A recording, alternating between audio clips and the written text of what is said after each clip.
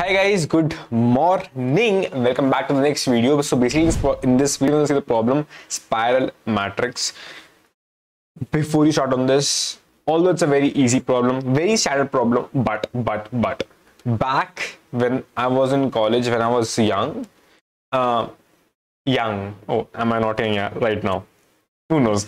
So back when I was in college, uh, when in practicals, in actual exams it was asked because it's a very common problem to be asked in first and second year. When it is asked it was very hard for me to actually imagine and implement it. And if even i implemented then i would forget that how i used to do it. Today i will just show you a standard technique that how to just implement these kind of problems. Cool. Let's start this video. But yeah before further ado that many of you have asked before that how i used to write how i just write on uh, the screen and you just see what I write. So I just use these tablets. Earlier I used to use XP Pen Pen tablet, which you used to see in the starting videos of last year and so then we upgraded on this Samsung tablet. The links will be down below for everything I use from monitor, camera, lights, mic, pen, pen tablet, everything. Cool let's start with the video itself. Uh, the problem says that it's a very standard problem that you are given m cross n matrix return all the elements of the matrix in a spiral order. What's a spiral order? Spiral order is nothing but some order like this. It's a spiral order. For a matrix the spiral order will be like this. It just sorry it just goes on inside inside inside inside and so on. Like this. It's a spiral of the matrix. Cool. For this problem example the spiral order for this matrix will be 1 then it go to 2 then 3 then 6 then 9 then 8 then 7 then 4 then 5 we have to print this in a linear vector or array as this. 1 2 3 6 9 8 7 4 5 like this we have to print right? Cool. Now before going on if you just clearly look at what gonna happen if we just break this spiral matrix down to multiple steps right? In the first step in the first step what will happen is it will just go from this left to right then top to bottom then again right to left then from bottom to top up till the point here only because it was already included. Now it is one cycle you will see it is completed right? In the next iteration it should actually move on from this next point because it was already included right? So next point then it just goes on to the right not exceeding the blue portion like not moving on to the blue, blue portion moving it before it blue. Nice. Then moving down up till the point where it had been before that. Then moving left then moving top again back. You see what's happening. Let's see one more. Then we start from the orange itself go right then down then left and then top. You see everything is same blue green uh, orange. It's just that it's getting smaller and smaller. How what's actually happening in this is that i was starting from left to right on the topmost row then just at the next step because already the the point right here was included. So from the next step up till the last second row i just went because I know when I'm gonna go from right to left in the last row because I'm just replicating the stuff. As I went on to the entire row in the from left to right this I will just go to the entire row. I can also actually modify this but it's good to have a uniform pattern right? That's the reason I just went on from right to left here. Then again I just went on above like just above this this I started and then went on to up till the point where I left. Right this point only. Thus it is just four operations. And every operations need every op of these four operation needs to be performed for every of this loop which means one for blue one for green one for orange one for white. And for every of this blue let's say for this blue i will perform all these four operations as simple as that. We just broke down our bigger problem to all these smaller problems. And for this smaller problem also i just broke down into many other small problems. That is how we solve these kinds of problems. Now it, it looks good. It looks good when we are actually imagining by the human mind. But as soon as we go on to programming it becomes complex because it's very hard. Oh which column has come? Which row has come? So to actually unify it make it simplify i always use this standard method how just see okay you want to move your row wise column wise row wise column wise right that's the reason just mark okay I will start from this left to right. It is nothing but I will just go on to the columns. I will go from up to down. I will just go on in the row. It is these four pointers or variables I just took. Okay, up, left, right, up, down. It just actually represents up to down will show will show me that I am going up to down in row. Down to up will show me I am going down to up in row.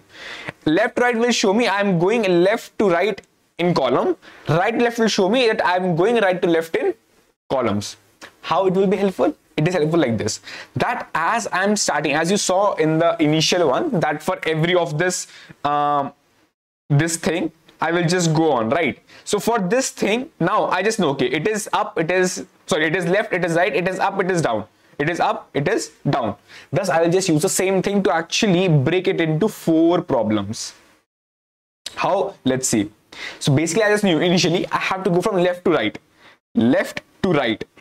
On which row? On this upper row.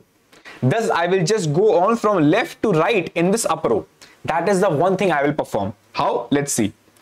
You will see. I will just go on from left to right. Mark my words. From I will just choose another color. From left to right in this upper row. Left to right in this upper row. That is I did for when I moved on on the top row on the upper row from left to right. Now the next thing I will I will perform is I will move on from up plus one because you will see up is here. I just moved on, up, up up. So I will just move on to up plus one up till the down minus 1 on this right row on this right column. I will move on from up plus 1 to down minus 1 on this right column. Exactly same how we write in code also. I will go on from up plus 1 to down minus 1 on this right column that is for when I move down. Cool. No worries. Now afterwards I will move on from right to left. From right to left I will move on from right to left on this down row. I will move on from right to left on this down row. So you are seeing how these variables which I made earlier are actually being helpful to me. I'm just using these to actually replicate okay how will I move from right to left on this on which row on this row how I will move from up to down on which column on this column that is I will move on you saw I will move on from right to left on this down row cool let's see I will move on from right to left on what? On this down row. That is exactly how we're moving from right to left. Then finally, we have to move on from, from down plus 1, down minus, sorry, down minus 1 up till up plus 1 on this, which column? On this left column. Down minus 1 to up plus, up plus 1 on this left column. Exactly same what we will write from down minus 1 to up plus 1 on this left column. That is how for every of this particular cycle, which means one, this particular thing, I'm just using these four smaller operations. And then Aryan, you showed okay, it is for one cycle, right? Which means one part of that spiral, which was this part, which was this blue part you showed this blue part you showed. What about are in the green part? The next part which is coming up is the green part. So how about you will uh, handle with this? Basically, I will just know, okay, now earlier my left, right, my left, left, right, up, down was handling this outer part. Now, if I want to handle the inner part, so I want to handle this now, right?